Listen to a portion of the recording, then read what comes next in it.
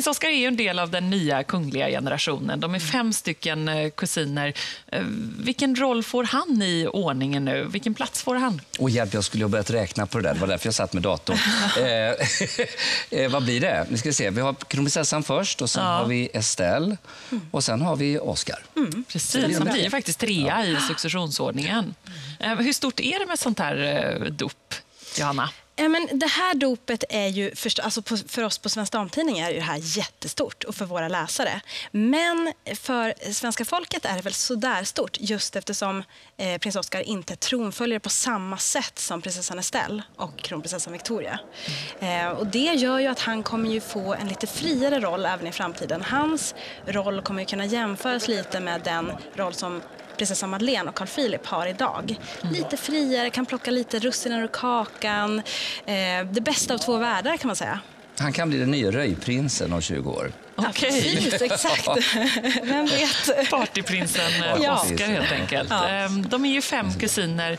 Eh, Hur nära är de kungliga kusiner, eller kommer de bli? Ja, det, det lär du nog kunna berätta Ja. bättre för att du känner till familjen ur det perspektivet på ett helt annat sätt. Ja, nej men de är supertajta, det är de verkligen. Och eh, det är också en stor trygghet som jag vet att både prinsessan Madeleine och kronprinsessan Victoria upplever att, man kan, att de verkligen står så nära och, och bygger ett nätverk och att de kan vara lojala mot varandra. För det är ju, de vet ju, det är bara de som vet exakt hur det är att vara kunglig.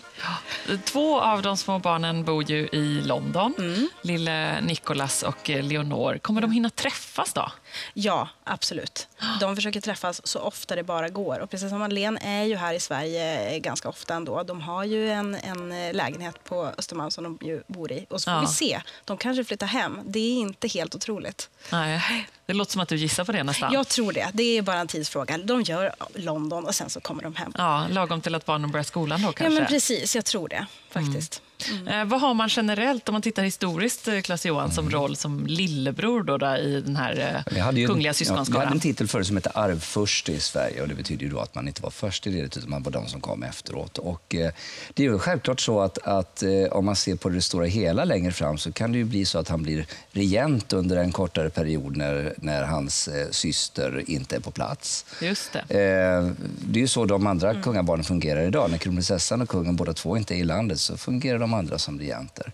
Mm. Eh, och det ska mycket till innan vi måste sätta in eh, någon utanför som Mm. då blir, eh, ja, blir den som tar hand om landet under tiden de är borta.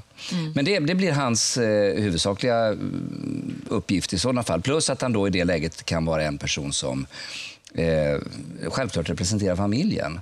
Eh, nu har han ju fått, jag hoppas att inte det bådar illa nu när han har fått symboliskt den här kronan från prins Fredrik Adolf, Gustav, Gustav IIIs bror. För att han var en partyprins och det var en person som inte lämnade så mycket efter sig mer än ett vackert utseende på två av Roslins kanske mest kända kungatavlor. Ja. Och den här kronan du pratar om, det är alltså den som kommer ligga framme i kyrkan? Ja, framme i kyrkan. Vi kommer tillbaka till den sen. Men man lägger fram en krona för att då symbolisera eh, hans eh, ska vi säga, värdighet som hertig. Då, då. Hertig av Skåne. Mm. Babyboom i kungahuset är det onekligen, eh, Johanna. Eh, Kungen och drottningen, hur är de som eh, mormor och morfar och nu farmor och farfar sen lilla Alexander kom? Ja, nej men drottningen har ju, har ju sagt i flera intervjuer att hon har ju väntat så länge på att få bli mormor och farmor. Hon har ju pratat om livets efterrätt i tio år skulle jag säga. Ja. Nu är, det blev ju verkligen en boom. Hon blev ju stormormor.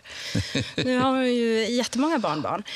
Men det är ju faktiskt så att kungaparet har ju rätt hektiskt just nu. Så de har ju inte tid att åka och hämta på förskolan. Utan det är ju, nu är ju alla kungabarnen faktiskt föräldralediga en period. Vilket betyder att de får jobba ja, men dubbelt så mycket. För det är ingen annan som, som rycker in.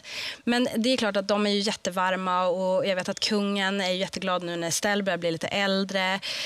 Spe- speciellt på Öland, på Soliden på sommaren så får de ju chans att verkligen umgås. Och jag, jag tror att eh, kungen kommer ta med Estelle ut i fiskebåten för det har jag gjort med alla sina barn. Det är ett jättefint minne som kronprinsessa Victoria har berättat om. Mm. Så inte så mycket hämtningar på förskolan och läxhjälp Nej, nej, men exakt. Inte det där vardagliga liksom, eh, underlättande.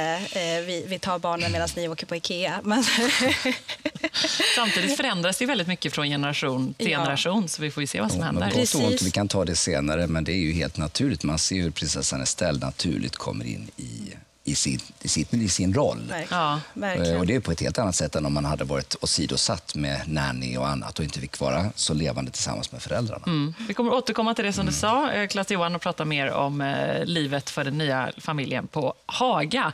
Nu har Maria Forsblom